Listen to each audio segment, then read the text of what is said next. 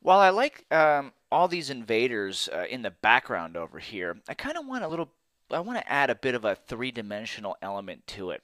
And I want to have some of these guys actually on top of the red, right? Because if you look at him, at this guy up top, top left, and to the right over here, they're all behind my uh, my red article. But I want a couple of them to peek in front of it. So you know, there's a couple of different approaches you could take to this um, problem.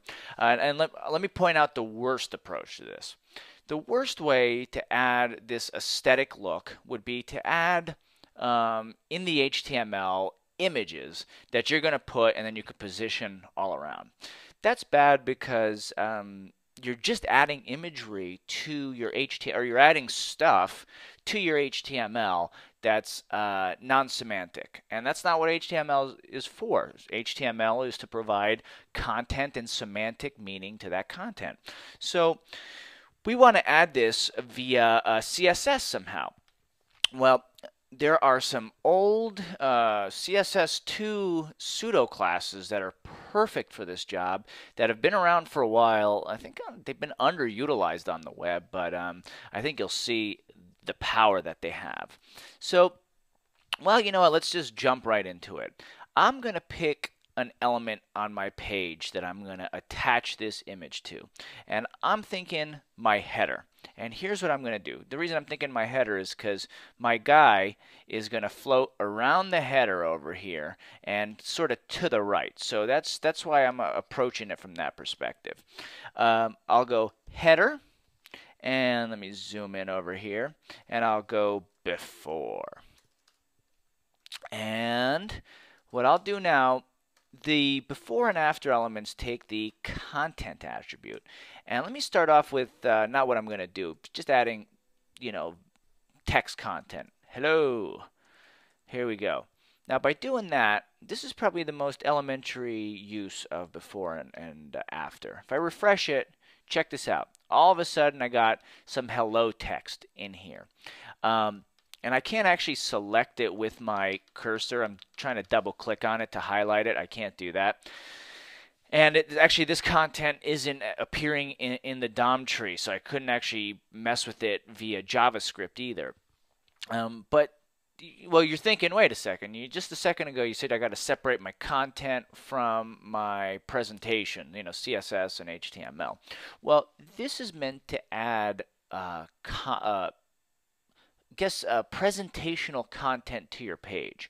And one, you know, one use for this would be imagine if I put my email address up here and I wanted people to click on it. What if I, you know, I could do something like uh, I put like email in here.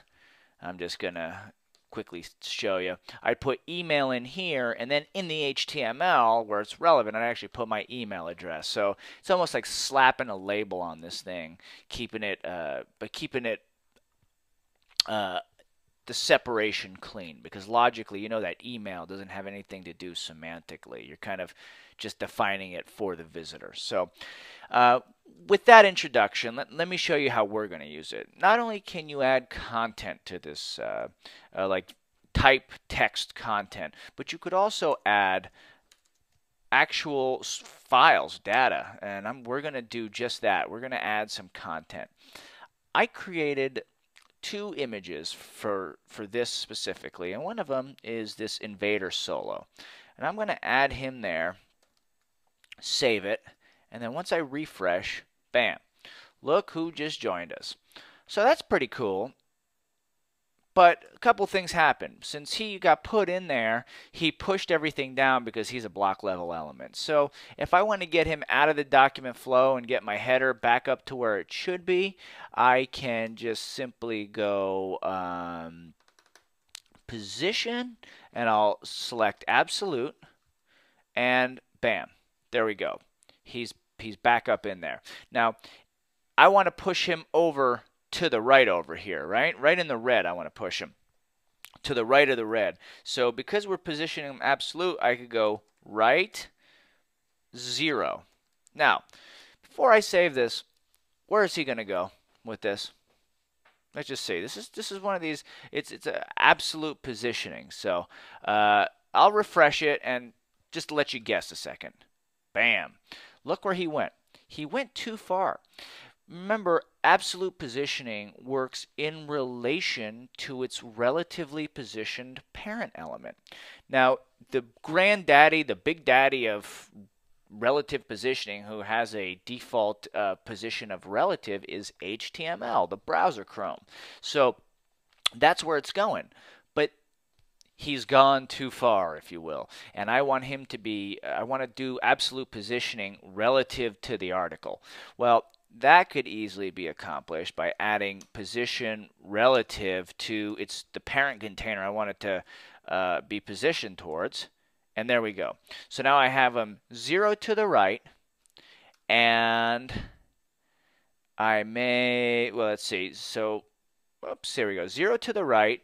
Let me give him a top of 0 just to get it started. And eh, I guess there's a little bit of padding over here. Now, I'm not going to worry about that because I actually want to do a bit more than that. And here's what I'm going to do. I'm going to go right. I'll move him, let's say, let's say 2 EMs to the right, negative 2 EMs to the right, and that pushes, see, and this is the effect I'm going for. I want to push him out into into both, so he looks like he's hanging over. Um, and actually, well, before I do anything, that's actually pretty cool.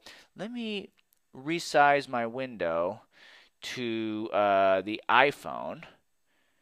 Ah, he's a bit okay. So we're gonna need to add a more top because he's all he's all up in that header now, and and that's not uh, going to do us any favors for uh, for making our font readable. So let me add negative two EMs to the top, and I'll keep on pushing him up until. Oh uh, yeah, he has a little bit more to go. There we go that's I, I, like that positioning. His foot's out of the way of the S. This is about as short as it's going to get. Um, I don't know who's using a device more narrow than the iPhone. So uh, if they are, well, sorry, pal, I can't help you.